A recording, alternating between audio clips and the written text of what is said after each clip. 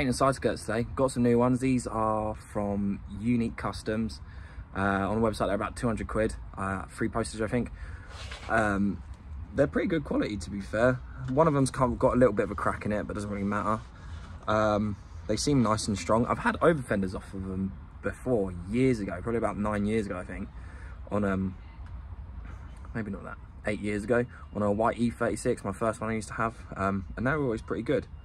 Um, but yeah, uh, I've got these ones because I've got a drift day coming up soon and I can't make my own ones uh, anymore at the moment. So just bought these ones as it was quicker um, just to do that. So I'm kind of interested to see what they look like. And obviously now that I want to paint something, it's um, it's starting to rain. So these are the side skirts. As you can see, pretty good.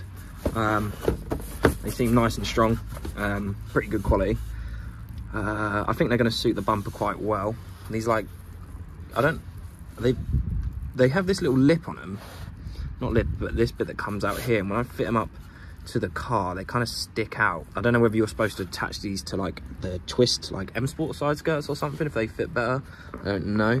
Um, I'm just going to fit them with like a load of Sikaflex and then probably like a self tapper in either end or something. So I've been to the paint shop and well, ordered some stuff online. So I just went up to my local paint shop, got a can of grey primer. I've got this silver base coat for steel wheels. Um, so the candy, when I painted the car, it did have a silver base coat. I don't know whether this needs it. This is a candy red paint. It's not from the same company I got the car from.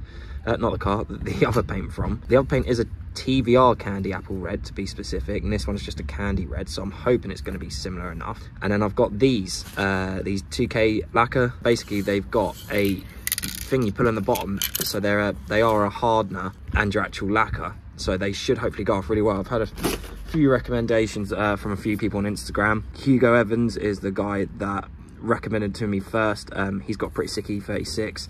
Um, and I think he said he did his engine bay with it. I'm not sure. Either, either way, his paint's pretty cool. So hopefully it'll be hard enough that you can actually like run a polisher over it if you need to. Um, unlike, you know, like your lacquers from Halfords.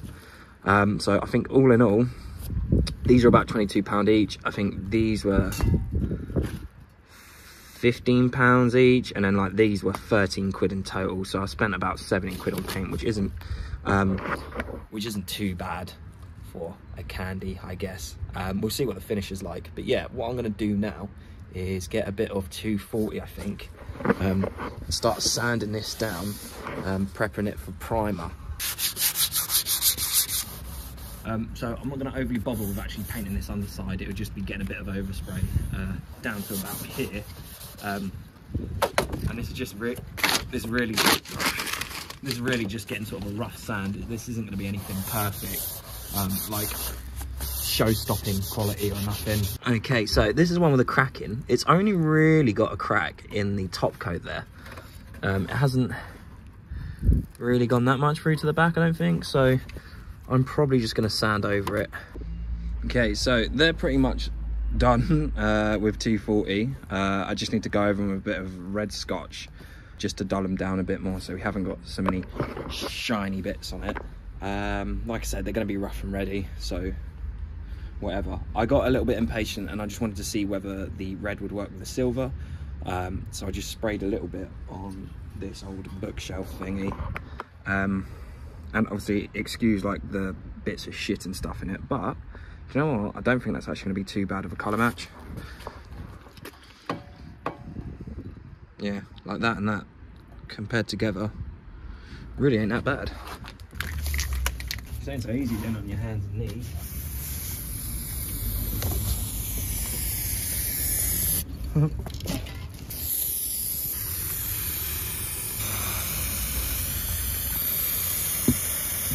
I'm thinking maybe I should have gone for two cans. This one started to run out and you can see there's like these tiger stripes in it.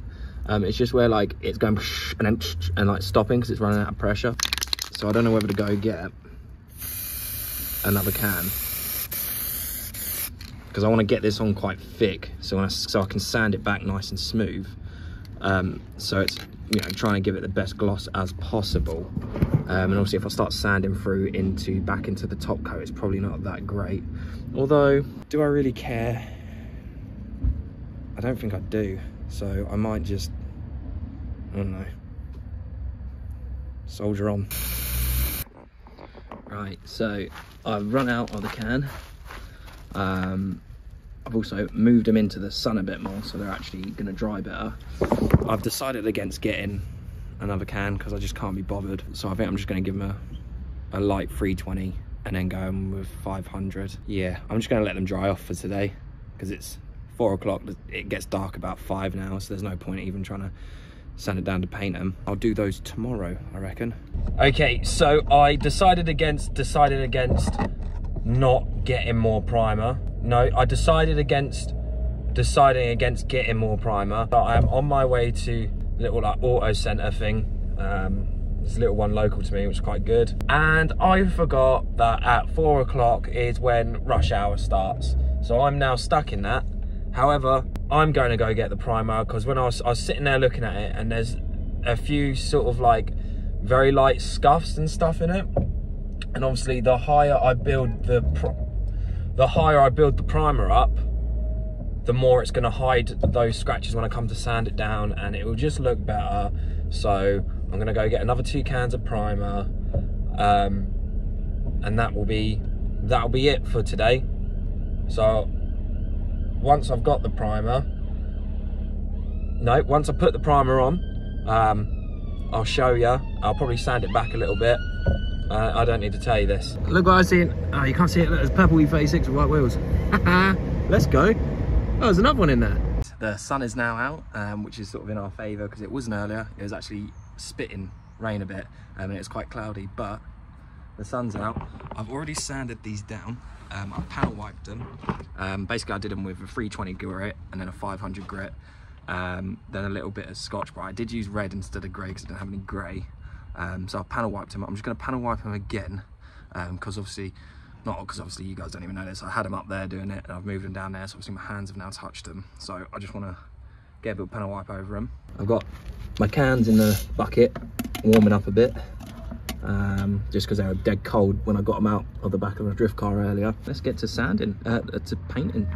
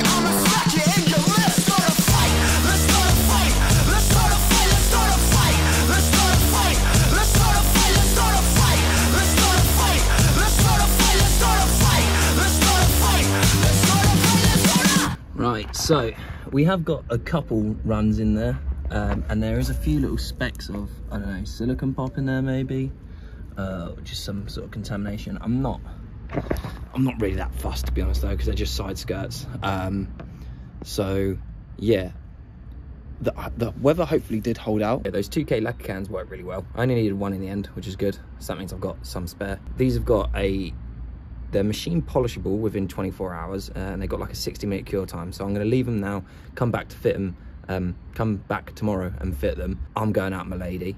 Uh, luckily the weather's hold has held off. I can feel a little bit of rain at the moment though, maybe. Some moisture, I don't know. But I might see if I can stick them in the house without her realising, but I don't think that'll happen.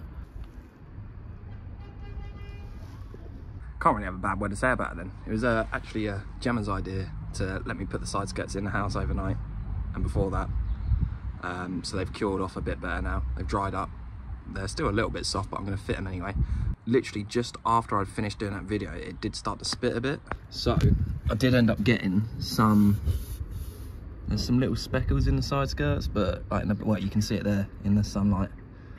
Um, but you know, I ain't too bothered for a rattle can job where I didn't do that great of a prep work. Um, it's come out pretty well. So what we can do now is get onto fitting them. Um, I've got this one already lined up, obviously it's going to sit higher than that. What I'm going to do is glue the back of them. I don't want to use too many self-tapping screws. Obviously I've already got a lot of holes in it from other side skirts and previous ones. I'm hoping I can get away with just doing like one either end and then just like a shitload of glue in the back. So what I've bought is this PGB power grab and bond stuff um, from TEC. I've used their products before, uh, their CT1 stuff, I use that quite a bit at work. Um, this is about 13 quid, but I think it's like a proper more of a, well, grab and bond. Um, and I don't want these to fall off. So hopefully this will work and only have to do like two, maybe three self-tappers in it. So I think I need to clean off some of this. Here, this was like uh, sticks like shit, I think I used. Um, which I don't know, maybe I need to rough and rough this up or clean this stuff up a bit.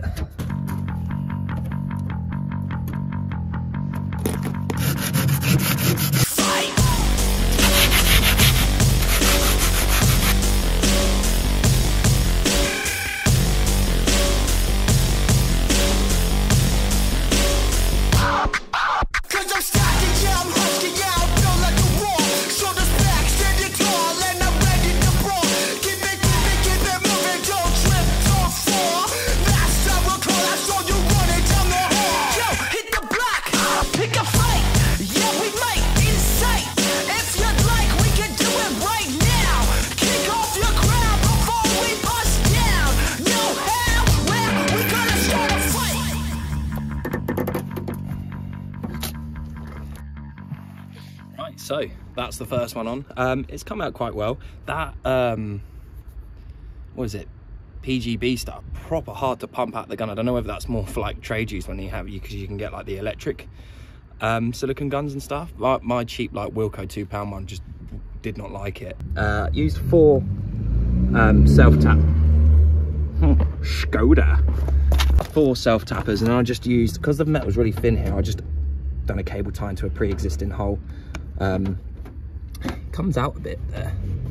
I'm not sure, um, because I was trying to work out how I want to actually fit these. I'm not sure whether these are meant to go on like SE side skirts, not SE, but like the other side skirts you get on them, because Gemma's Z-Face, this one here, oh God, look at that, has these side skirts on and they fit over quite well uh, onto there with like, you can see it like curves over, which is what that side skirt does. Whereas the ones I made myself, um, I done them flat so they fit in like this. Obviously they're a bit fully apart. I didn't make these out of a very strong, I, think I chipped out, cheaped out on the fiberglass when I built these and probably didn't do enough. So if I make these again, which I'm hoping I might do, I'm gonna, you know, invest in better fiberglass because that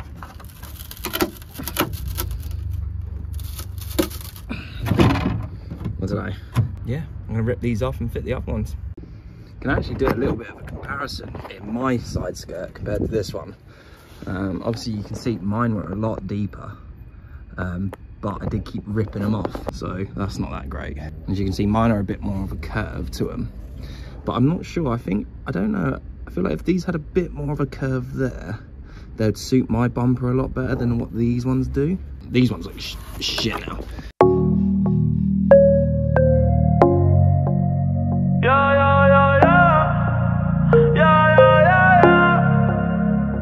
Si te vas, yo quiero saber si tú te vas, mami, cuando tú quieras, cuando tú quieras, yeah.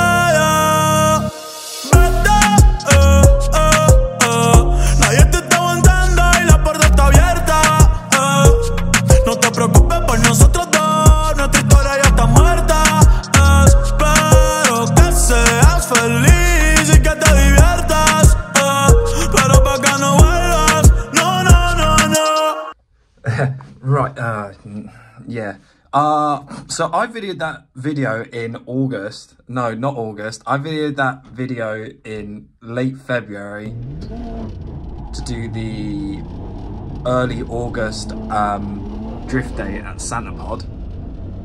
It was absolutely terrible, though it rained the whole time. I think I went out about four times. The car overheated at one point, there was snow. It's now mid-August, um, and I'm finally gonna upload the video, and I think I should just show you the side skirts. They, um, they did last very well. See, it's gone from me wearing a jumper and trousers to shorts and t-shirt.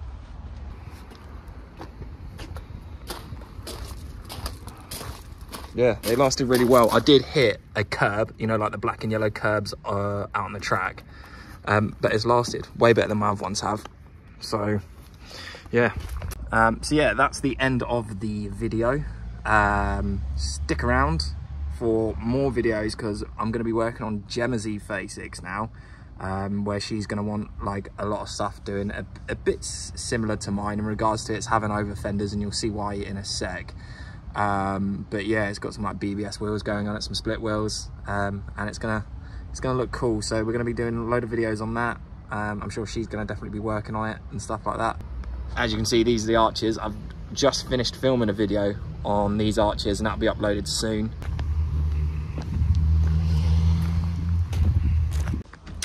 Uh, leave a comment if you want, or don't. It's up to you. But yeah, cheers guys.